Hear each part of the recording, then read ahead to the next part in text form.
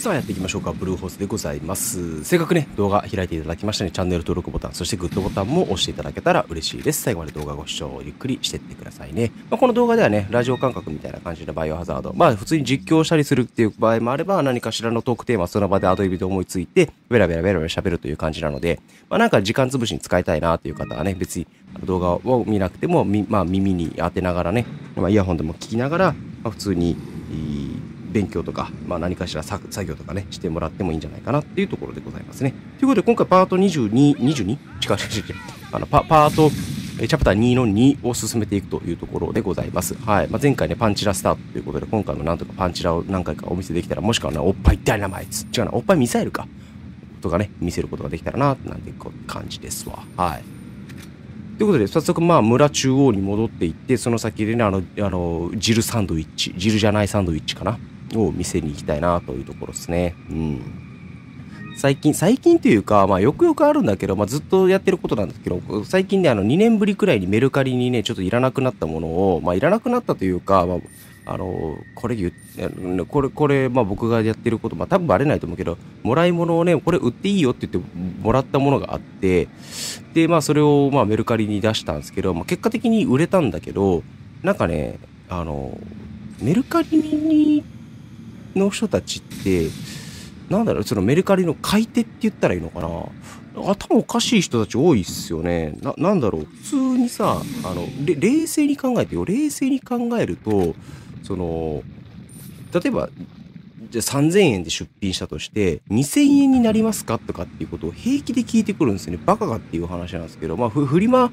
まあ、アプリだから、そういうことが、なんか、まあ、横行してるんだろうなって思ってるけど、30、3000円から2000円ってなったらさ、33%オフよ。普通にそんなことするかっていう話なんですよ。うん。で、あの、で、しかもね、僕の場合ね、あの、プロフィールに、値引きはしませんと。で、値引きするのは、こっちのタイミングで、あの、売れなかっ売れ、なかなかこの長期で、なかなか売れないなっていう時に、じゃあ、このくらいの金額に下げようかっていうタイミングで僕の好きなタイミングでやってるわけなんですよ。で、そのことも全部プロフィールに書いてるんですよ。あの、適宜値下げはしますが、その値下げでのコメントに対しては一切対応しませんということを書いてるのに、プロフィール欄を見ないで、なんかね、うん、そういうコメントを打ってくる人がいるんですよ。うん。で、そこに関しては非常に申し訳ないんですけど、あの、普通に、あの、要は、プロじゃないじゃん。メルカリに売ってる人たちって。あのたたまにさ、その、アマゾンとか楽天とか、でも普通のお店が出品してたりとか、メルカリでも普通にお店が出品してたりとかっていうケースは確かにあるけど、あるけど、そのうちの多くはさ、ただ単なるど素人がさ、やってるわけじゃん。一般的な個人の人が、メルカリ便とか、楽々メルカリ便とか、悠々楽々便とか、なかなかそそんなのを使ったりとかやってるっていうだけの話であって、ってなったら、この人、お店じゃない、まあお店が安心かどうかっていう、まあ問題もあるけど、普通に考えたらど素人がやってるわけだからさ、信用していいかどうかっていうのを評価見たりとか、あるいは、あその人がプロフィールにどんなことを書いてるかっていうのが気にならないのかなって思うんですよ。で、それを見た上だったら、あ、この人は値下げ対応してくれない人なんだなとかっていうの一発でわかんのに、そういうの見ないで出品品だけ、出品されているものだけを見て、ねえ、うん、買おうって決めるっていうのが、なんかそこら辺の警戒力がないっていうのが、逆に僕はすげえなって思ったりするんですけどね。僕は怖くてできない、そんなこと。まあ、そもそもメルカリとかヤフオクとかで買ったことないんですけどね。ヤフオクも使ってたよ。ヤフオクも使ってた。ヤフオク使ってたけど、やっぱりその、なんか、だだいたいその食いつきがいいように1円とか10円みたいな低価格でやっていくんですけど、その価格で売れちゃった場合ね、断ることもなかなか難しいし、あの、まあ、断れないことはないんだけど、こと断ることはなんかね、あの、非常に申し訳ないっていうのがあるから、だから1円で、まあ、送料別途だったとしても、儲けが赤字になることなんてザラにあったから、まあ、そういうのも考えると、ちょっと、おー、ぶちょちょちょちょちょ、待って待って待って、危ない危ない危ない。危ない危ない危ない。下がって下がって下がって下がって下がって。近い近い近い。ちょっとカレー臭撒き散らさないでください。っていうこともあるからね、まあ、ちょっとヤフオクはね、うん、やめたけどね、まあ、い一時ねあのア、アプリのレアカードなんかっていうのをこう、交換パターンで送ってあげたりとかで1枚3万円とかで売れたりとかもしてたけどね、巨乳。そう。っていうね、まあちょっと最近ね、あの、久々にメルカリをやってみたら、そういうね、まあ嫌な思いというか、なんかほんと常識外れてるのだって、普通にさ、お店に売ってるものとかでさ、あの、これ33%引きしなさいよとかさ、ね、1000円引いてくれとかって言わないじゃん。ああそこら辺のなんか常識がね。だけどこっちがすごく丁寧に、プロフィールにも書いてある通りで、あの、値引き対応っていうのは考えておりませんと。で、一応、その同じものを売っている場合もあるのよ。僕本とか持ったりする、本とかカードとか持ったりするんだけど、本で、その自分が同じものを出品、自分が出してるものと同じものを出してる人が他にいないかっていうことを一応調べてから、あ、あの、他にこの価格で売られている方がいらっしゃるので、そちらにコメントをするなり購入された方がいいんじゃないですか？っていうことをちゃんと丁寧に言うのよ。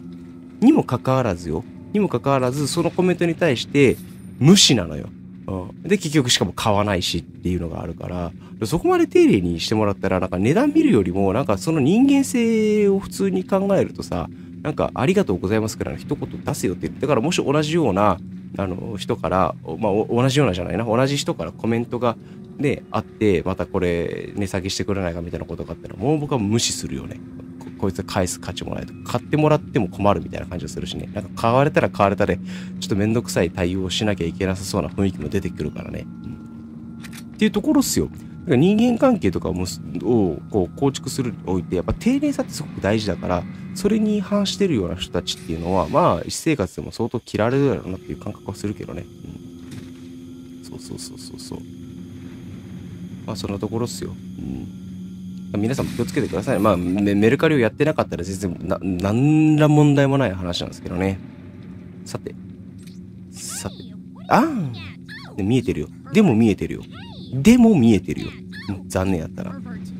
ずっと見えてる。ずっと見えているの術。あ、違う違う違う。受け止めなきゃ次いけねえんだ。しゃがむ瞬間すらも見えてるからね。しゃがむ瞬間じゃない。飛び降りる瞬間か。まあ、そんなところっすね。そうそう、まあ、あともう一つね、あのー、まあ、これは年始の方のさ話なんだけど、まあ、ちょっと、あの、知り、知り合い、まあ、親父の知り合いで、まあ、とある県に旅行に行った時に、まあ、近く寄るんで一緒に食事でもいかがですかって言って、食事誘って、で、まあ、あの、奥さんと、それから娘さんとね、それから娘さんの婚約者になるであろう人物と、まあ4人で、で、こっちはまあ、娘と嫁と3人で行って、まあトータルで7人で遊んだんですけど、あ遊んだけど食事に行ったんですけど、なんか開口一番がね、僕3兄弟なんですけど、その真ん中と、あの、弟、真ん中と一番下がすごいこう立派になったね、みたいな話からなんかスタートして、で、その娘の方が、あ娘って、そのあの、娘さんの方がね、相手方の娘さんの方が、まあ、ブルーホースが一番人間性終わってるよね、みたいなこといきなり言い始めたんですよ。開口一番ね。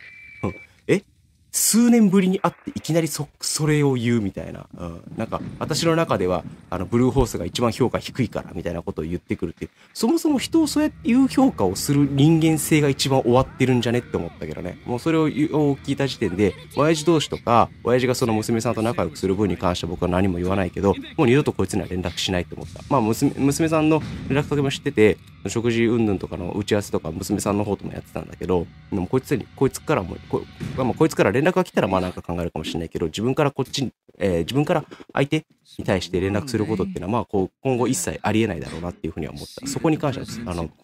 本当に、えー、なんでみたいな、おっぱい、おっぱいおっぱい。そう、筋乳の癖しやがってっていう。ごめんなさい。めっちゃ口悪くなっちゃった。うん、本当に。うん。まあ、医者なんですよ。医者の娘で、で、自身も、まあ、医者で、ってなってくると、まあ、ちょっと世間とずれてくるっていうのはあるよ。あの、な、なぜかっていうと、買い物、あお金持ちだし、当然。うん、開業医なんでねお、お父さんの方が開業医だし。うん、で、あの普段からまあ贅沢な生活をすることができているし。でで医者って偏見かもしんないけど大体行かれてるやつが多いのよ。僕たまたまその父親が医療関係に勤めてたから医者とまあ日常的に子供の頃から過ごす機会が多かったんですけどやっぱりその喋ることとかなんか態度とかなんかその辺りとかっていうのがなんか大人になって今すごくあの冷静に見てわかるけどやっぱね挙動がおかしい人たち多いっすよもう普通に。まあ、だからそうそういう感じでもあるからまああ娘も娘さんもまあ結局はそういうことになってしまったんだろうな残念だなと思ったけどね。うんまあそうやってあの自分が一番だとかね、まあ、自分が正しいとかって思っている間にあのどんどん人は知らないうちに離れていくっていう恐怖を味わえばいいんじゃないかなっていうふうに僕は思いましたね。はいごめんなさいね。なんかあのラジオ感覚でゆっくり聞いててくださいしっぽり聞いててくださいねって言ってたくせになんかものすごいたあぶねえ言ってあ普通に普通に壁越しに攻撃してきたと。もちろんそう。あのなんかちょっとあんまり気持ちよくない話をしてしまってあのまあ掃除で何が言えるかっていうとあの人間関係は大事にしましょうっていうことですよ。結局その自分が相手に対してどう関わっているかによって相手っていうのは態度とか振る舞い方っていうのを決めていくわけだからだから自分がね存在な扱いをされたのに丁寧な扱いができるわけがないからうんそうだからなんかあいつ冷たいねとかそういうことを言ってくる人とかっていうのはたまにいたりするけどそれはあなたの一言最初のファーストインプレッションが悪かったあの第一印象が悪かったからですっていうそういう話になってくるんですよ。うんなんであなたがそういう態度を取ってきたの？にこっちだけバカ丁寧に敬語を使ったりとかさあのなんか気気使わなきゃいけないのっていう話につながってくるわけだから。からそこら辺はねやっぱりね自分がどういう対応をしてたかっていうので相手があこういう態度を振る舞ってるんだなっていうそこはね自己反省つなげなきゃいけないっていう話なんですよ。うん、ましてやあの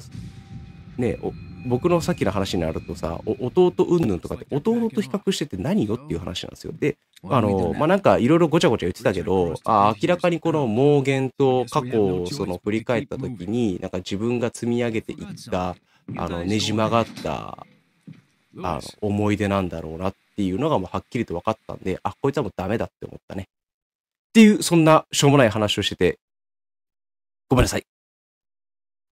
こんな話でも良ければ、いや、わかるわって評価いただけた方はね、ぜひね、チャンネル登録ボタンとグッドボタンを押していただけたらというふうに思います。ということでね、次回バトルでまたお会いしましょう。お疲れ様でした。さよなら。バイバイ。